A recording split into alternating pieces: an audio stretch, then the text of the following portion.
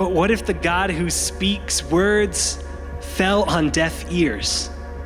A miscommunication causing mystification, a message with members missing, a voracious vernacular vetoed. Glorious shouts of praise to the God of the universe, noticeably hollow, without the praises of people who can't hear God speak to them and follow. This is the mission, and I know it's hard to comprehend, but